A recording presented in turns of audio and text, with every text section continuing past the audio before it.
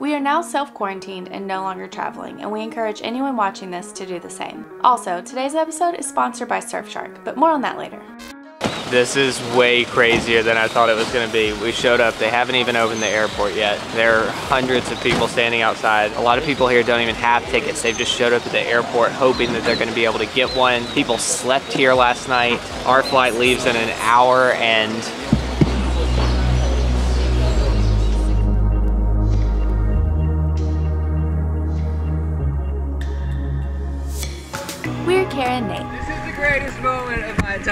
We've been traveling the world full time for the last four years, and we've spent the last week island hopping through the Philippines.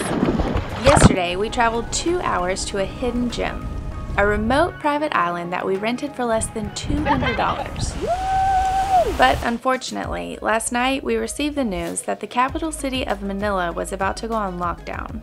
Things are getting really interesting really quickly with the coronavirus. We've just learned that now we pretty much have two days to get out of Coron or risk being stuck here for a month. Right now, international tourists aren't being restricted from leaving the international hubs, but we could be restricted from getting to them. All flights, buses, boats, everything is going to be shut down moving in and out of these cities in the next two days. Like many of you, our lives have been completely flipped upside down by the coronavirus.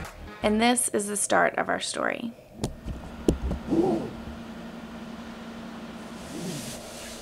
Hey, time to wake up.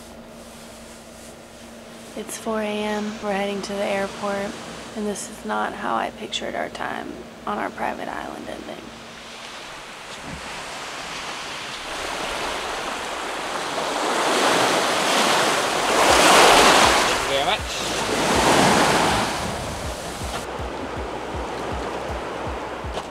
So sad.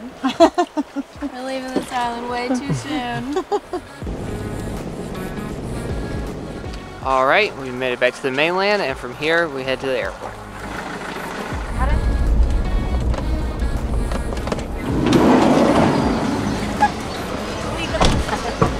This is crazy. Thank you very much. There are just hundreds of people standing outside the airport. They haven't even opened the airport yet. I've been talking to a few people. A lot of people here don't even have tickets. They've just showed up at the airport hoping that they're going to be able to get one. People slept here last night. Our flight leaves in an hour and we just need to get right there. We made it in the airport 30 minutes before our flight is supposed to depart, but not looking much better.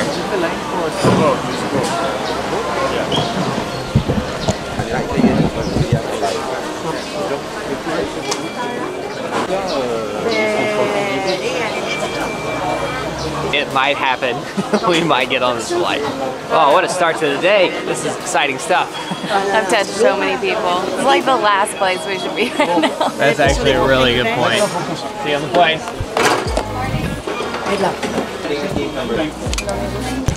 Thank you so much. Thank you. Thank you. Oh, made it! run! Go to Cebu! It is seriously a miracle. I love this! We are in 2B2683. We are bound for Mactan, Cebu. We walked on the flight at 6:58. It leaves at 7. Nothing about that was guaranteed. And if we would have missed that flight, there's no way we would have made it back to Manila today. No. And We then we, still would might have been not. stuck. We were the very last people to get on this flight. There are empty seats, which means that other people didn't make it because this flight was 100% sold out. Feeling very grateful right now. We'll be here. Before we go any further, we wanted to say a big thank you to Surfshark for continuing to support creators during this challenging time. This is the second video of ours that Surfshark has sponsored since we started using their VPN to protect ourselves online. As we travel around the world, a lot of the time we have no choice but to connect to public Wi-Fi hotspots like in hotels, airport lounges, and coffee shops, and those places can be a gold mine for hackers. However, a VPN or virtual private network gives us an extra layer of security by encrypting everything that's sent between our computer and the internet. We are currently in self-quarantine, so we're not connecting to public Wi-Fi. However, we are using our VPN to binge watch one of our favorite shows on Netflix that isn't available in the US, but is available if you set your location to a different country. Even if you're not a traveler, a VPN can still come in super handy to protect your data. So if you don't have one already, we highly recommend using Surfshark because they are the only ones to offer unlimited devices. Plus, you get 83% off and you get 30 days for free and there's a 30 day free trial so there's no risk to try it out. All you have to do to get started is use the link in the description below. Our estimate flight time is an hour and 10 minutes. We shall now be showing you the safety features of this aircraft.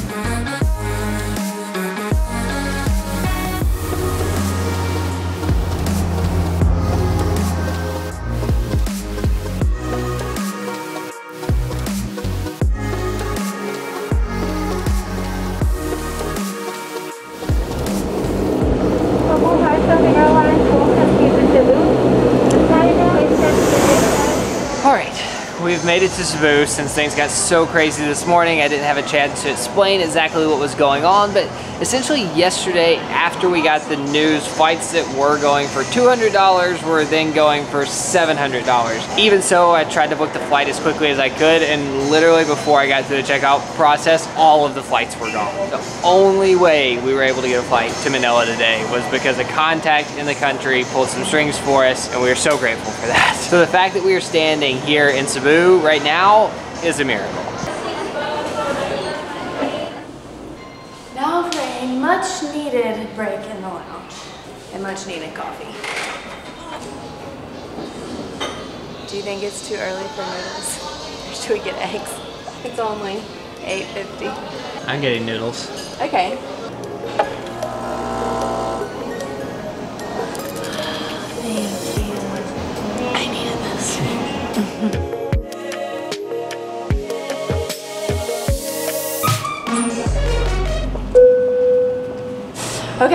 We are on the jet bridge walking onto our flight to Manila. The reason this is such a big deal is because starting tomorrow, Manila will be on lockdown. No flights are going to and from the capital city. Which means if we wouldn't have gotten on this flight today, there's a chance we could have been stuck in the Philippines for 30 days. Now, I can think of worse places to be stuck than where we were last night, but still, we just didn't want to be trapped anywhere.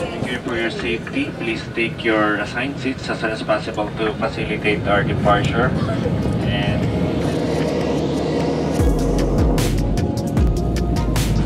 Ladies and gentlemen, Philippine Airlines welcomes you to Metro Manila.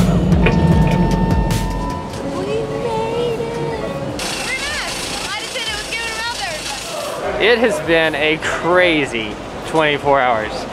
I went from being sure we were going to be stranded on an island to being back in the city of Manila, which, now that I'm saying it, What are we thinking? made it back to Manila, which means that we shouldn't have any problem getting out of the country, but our next flight's actually not until tomorrow morning, and with things changing as quickly as they are, we'll see what happens.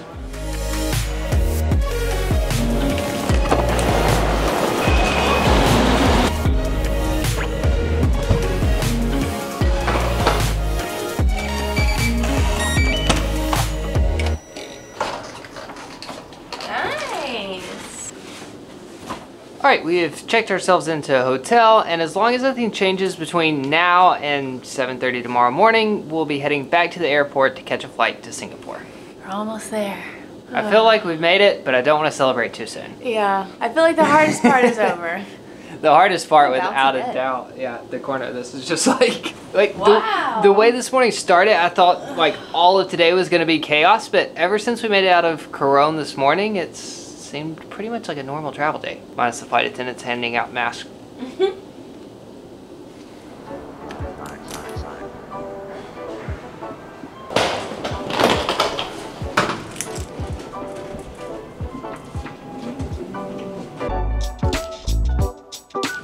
So, as far as we know, nothing has changed since last night, so we are about to head back to the airport to hopefully catch a flight out of the country.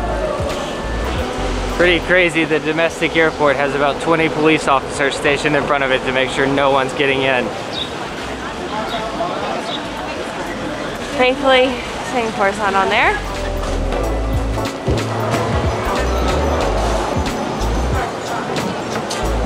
The airport's not quite as chaotic as yesterday, but there are just as many people. We were just standing in a line that I think was a social experiment that led to nowhere, but there were about 50 people lined up. We still have two hours before our flight leaves, so we should be good. This would be the day to have status. Unfortunately, we're flying Sky Team, which is the only alliance where we don't have status. That was nuts. we were literally standing in a line that the end of it was blocked off. Nobody was going leading anywhere. to nowhere. And everyone was just standing there. I feel bad. We should go back and like tell the people that were behind us in line. Yeah. Every man for himself.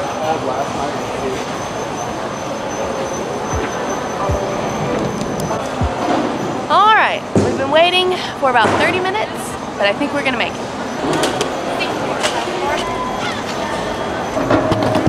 Thank you very much. Thank you Thank so you. much. Made it.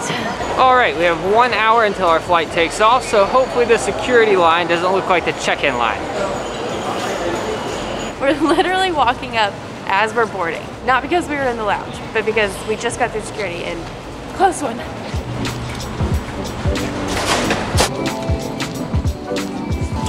All right, three and a half hours to Singapore. I think that actually does a lot more than wearing a mask. Yeah. Okay, my home for the next three hours is sanitized. Please refer to the information guide in our Buhar magazine or call our cabin attendant for assistance.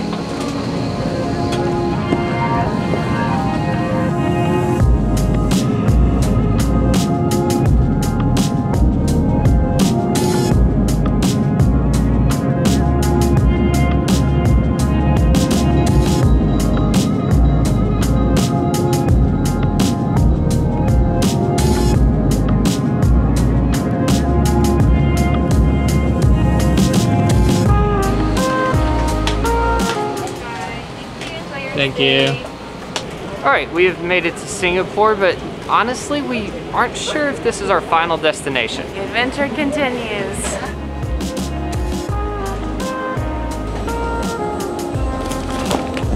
So right now we're in a pretty interesting situation because all of our plans for the rest of the year have been canceled. So there's no point in going back to the US like we had originally intended. With the current state of the coronavirus, it seems like the best thing for everyone to do right now is to stay put in their homes. The problem is we don't have one and we haven't for the last four years.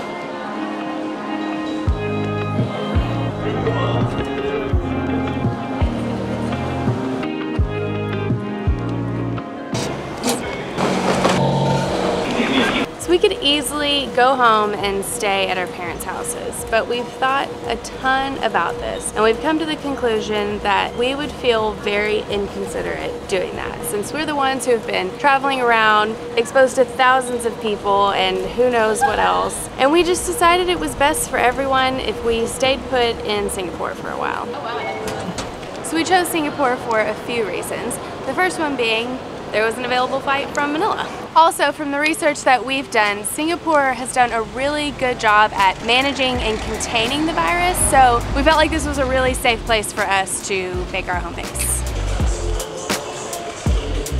Like, just to stay at this hotel, we have to fill out a health declaration form. It's a 60 and have our temperature taken. Feel like this is huge for Singapore. Yeah. so the last reason that we chose Singapore is because we know that we can take a standby flight back to the US at any time if we have to, or if we need to for whatever reason. With that said, we don't know how long we're gonna be here. We're kind of taking it day by day right now and doing the best to make the right decisions with the information that we have. This video probably won't be edited and uploaded until a month later, and at that point, I'm sure the world will be a totally different place. And either this will be an overreaction or Who knows? hindsight is is 2020 so it's going to be really obvious what the right decision was to make in the future but for now we're making the best decision that we can so this is home for one night there's a lot of pressure to book yeah We didn't want to book. Yeah.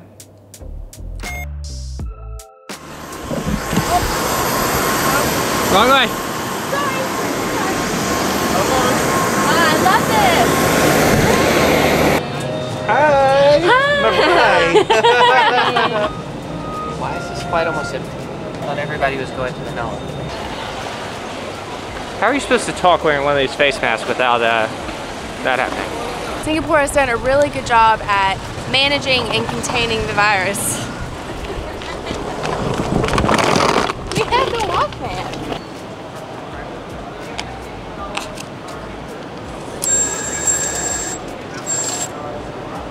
On. I like watching it without the noise.